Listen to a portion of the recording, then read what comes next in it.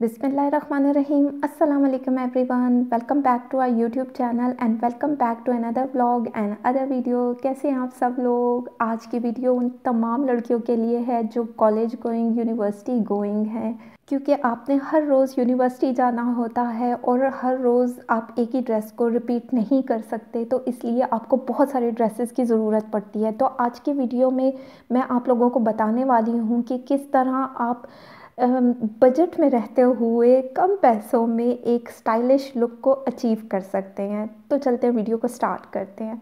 मेरा पहला आर्टिकल है ये शर्ट ये मेरी पिंक स्लिप्स की शर्ट जो कि मेरी बहुत ज़्यादा फेवरेट है, क्योंकि ये बिल्कुल डिफरेंट प्रिंट था। मैंने आज तक इस तरीके का प्रिंट नहीं देखा। मेरी नज़रों से नहीं गुज़रा।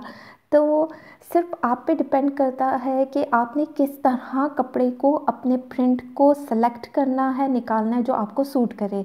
ये थोड़ी सी मोटी लीलन में है।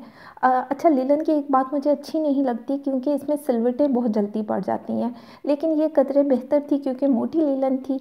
तो इसे मैंने एक सिंपल ए लाइन शर्ट बनाया। अच्छा ये लिप्स जो है ना, आप लोगों को नज़र आ रहे होंगे। अब मैंने टेलर को तो बहुत अच्छे तरीके से समझा दिया था कि भाई, ये लिप्स तुमने उल्टे क्यों लगाए हैं? ऐसे होठ होते हैं क्या?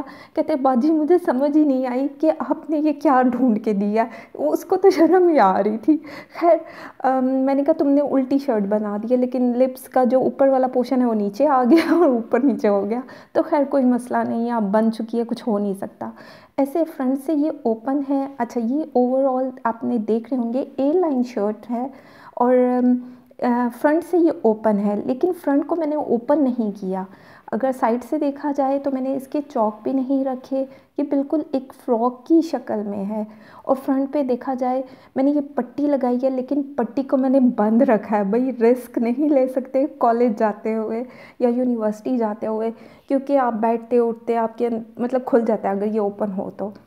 तो ये ऊपर तक इस तरीके की पट्टी है जो कि यहाँ तक बंद है। और साथ ही मैंने इसका नेक कॉलर में बनाया है क्योंकि कॉलर जो है कॉलेज गोइंग यूनिवर्सिटी गोइंग लड़कियों के साथ बहुत ज़्यादा अच्छा लगता है। बैन गला हो गया कॉलर हो गया और इस तरीके की पॉकेट्स अच्छा देखा जाए, ये पॉकेट सिर्फ़ ऊपर से बनी हुई हैं, एक पीस लेकर जैसे कि स्टिचिंग हुई हुई है, कोई प्रॉपर पॉकेट नहीं बनी हुई। इस तरह पॉकेट की शर्ट्स मतलब बहुत ज़्यादा स्टाइलिश लगती है। ऐसे लगता है आपने किसी ब्रांड की शर्ट पहनी हुई है।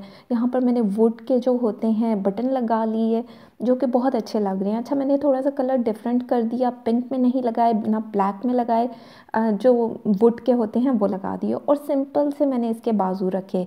जैसे कि कफ़ है, कफ़ भी बहुत स्टाइलिश लगता है। मतलब आप एक एलिगेंट लुक आती है आपकी जब आप कफ़ वाले कॉलर वाली शर्ट पहनते हैं तो मतलब एक बहुत डिसेंट लुक आती है। तो इस शर्ट को आप किसी भी जीन्स के साथ, यानी कि ब्लैक जीन्स के साथ, टाइट्स के साथ, कैप्री के साथ कैरी कर सकते हैं, जो कि बहुत ज़्यादा स्टाइलिश दिखती है। तो मैंने साथ में अपनी पिक्चर्स भी अटैच कर दी हैं कि आपको आइडिया हो सके कि किस तरह आप ड्रेसिंग कर सकते हैं, स्टाइलिश दिख सकते हैं कि लोग आपसे पूछें कि आपने कौन सी ब्रांड की शर्ट पहनी हुई है। तो लकीली मुझे इसका स्टोलर भी मिल गया था, जो मैंने इसके साथ पेयर अप किया और जो कि बहुत हसीन दिख रहा था। चलते हैं नेक्स्ट शर्ट की तरफ़। लोगों के पास एप्पल फ़ोन होते हैं आईफोन होते हैं। मेरे पास एप्पल का फ़ोन नहीं है, लेकिन मेरे पास एप्पल की शर्ट है, जो मेरी सबसे फेवरेट है। ना ही मैंने इस तरीके का प्रिंट किसी को पहने हुए देखा। अगर आप लोगों की नज़र से ऐसा प्रिंट गुजरा हो तो मुझे कमेंट सेक्शन में ज़रूर बताएँ। खैर, ये मेरी बहुत ज़्यादा फेवरेट शर्ट है। ये मरीना कपड़ा है थोड़ा सा मोटा, सर्दियों में चलने वाला और इसमें सिलवटें भी नहीं पड़ती थी और ये कोई इतना हसीन था कि जब मैं यूनिवर्सिटी पहन कर गई और हर बंदे ने पूछा कि आपने कौन से ब्रांड की शर्ट पहनी हुई है? इसकी फिनिशिंग मैंने कुछ इस तरीके की येलो कपड़े से करवा दी, क्योंकि थोड़ा सा तो डिफरेंट करना था ना। बिल्कुल ब्लैक ब्लैक हो जाता तो वो ज़्यादा अच्छा नहीं लगता। तो ये अच्छी लॉन्ग शर्ट मैंने बनवाई है। मतलब अच्छी खासी लंबी इसकी लेंथ है। अच्छा यहाँ पर जो है मैंने इसकी बेल्ट रखी है जो आपको दिख रही होगी अच्छी खासी चौड़ी बेल्ट है जो कि बहुत मतलब स्टाइलिश दिखती है। आ, ये जो आपको बकल नज़र आ रहा है आप यकीन नहीं करेंगे मेरे पास एक हैंड बैग था। मेरे पास क्या आप लोगों के पास भी कुछ ऐसे हैंड बैग्स होते हैं जो एक्सपायर हो जाते हैं और उनके फ्रंट पर काफ़ी बकल्स लगे हुए होते हैं। तो मैं उन बकल्स को उतार देती हूँ और वो फिर मैं किसी ना किसी ड्रेस पर लगा देती हूँ।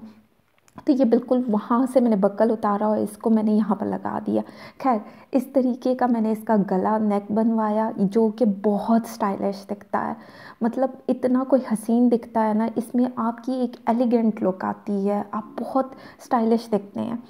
तो ये थोड़ा सा डीप भी हो जाए तो इसको थोड़ा सा कम करने का ये तरीका होता है कि नीचे आप कैमिसोल पहन लें तो उससे भी थोड़ा सा कवर हो जाता है। सेकंड वन ये होता है कि ये थोड़ा सा लूज़ होता है तो इसलिए इसकी लेंथ थोड़ी सी मतलब खुली खुली बनती है तो उसको मतलब ख़ुद को कवर करने के लिए इसके नीचे कैमिसोल पहनना बेहद ज़रूरी है। ये आप लोगों को स्टिचिंग नज़र आ रही होगी कि मैंने पीछे से भी ना एक दो टांके लगा दिए थे कि ये गला नीचे की तरफ़ नहीं आए।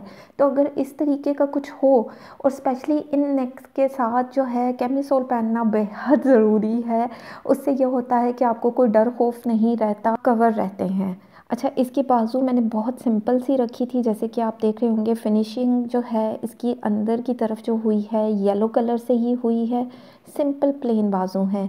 लेकिन यहाँ पर आप, मैंने एक बटन लगवाया, जो बिल्कुल मिड में आपको दिख रहा होगा। और मैं अभी आपको बताती हूँ, नीचे से मैंने इसकी एक, जैसे पट्टी, इसको क्या बोलेंगे, एक पट्टी रखवा दी, ठीक है? इससे ये होता है कि अगर आप स्ट्रेट बाजू रखना चाहते हैं तो आपकी अपनी मर्ज़ी, आप इस तरह भी रख सकते हैं। और अगर आप बाजू को थोड़ा सा स्टाइलिश दिखाना चाहते हैं, क्योंकि अक्सर आपने नीचे सर्दियों में हाई नेक पहना हुआ होता है तो आप नीचे हाई नेक पहन के ऊपर बाजू को इस तरह से बंद करेंगे तो बाजू थोड़ी सी ऊपर को उठ जाएगी तो वो थोड़ी सी डिफरेंट लुक आएगी और बहुत स्टाइलिश नज़र आएगा। तो इस तरह आप अपने कपड़ों को थोड़ा सा स्टाइलिश कर सकते हैं दूसरे से डिफरेंट कर सकते हैं। तो मैंने इनकी प्राइजेस नहीं बताई थी। आ, मैंने पिंक शर्ट जो बाई की थी वो मेरे ख्याल में मैंने तीन साढ़े तीन सौ में ली थी और जबकि मैंने ये येलो शर्ट फाइव हंड्रेड में परचेज़ की थी और मैंने सिक्स सिक्स या फाइव हंड्रेड इसकी स्टिचिंग दी और देखें अंडर थाउज़ेंड मुझे ये दोनों शर्ट्स पड़ गई और जो कि बहुत स्टाइलिश दिख रही थी कि हर बंदे ने मुझसे पूछा कि आपने कौन से ब्रांड से इसको बाय किया है? तो आपको ख़ुद एक ब्रांड बनना चाहिए। तो खैर, ये रही आज की वीडियो। अगर आप लोगों को मेरी आज की वीडियो अच्छी लगी हो तो मुझे फ़ीडबैक ज़रूर दें और कमेंट सेक्शन में कमेंट करके मुझे बताएँ कि आप किस तरीके की वीडियोस देखना चाहते हैं। और अगर आप मेरे चैनल पर नए हैं तो मेरे चैनल को सब्सक्राइब कर दें और लाइक करना तो बनता है। अपना ख्याल रखें, दुआओं में याद रखें। Thank you so much love you all